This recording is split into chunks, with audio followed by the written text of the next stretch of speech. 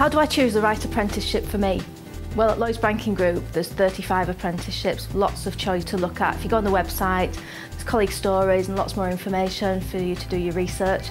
For me, it was the project management apprenticeship that appealed to me. I enjoyed the, the fact that no two days are the same, lots of stakeholder management, but go on the website and see which appeals for you.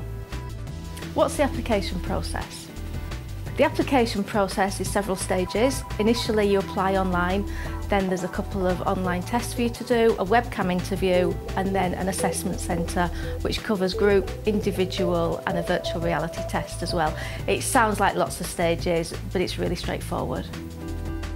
How should I prepare for interviews and assessments?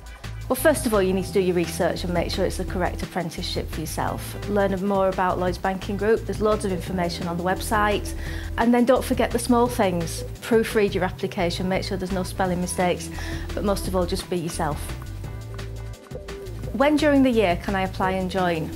Apprenticeships come up all year round, so keep your eye on the website and you'll be able to see when your apprenticeship becomes available or register your interest and then Lloyds Banking Group will contact you.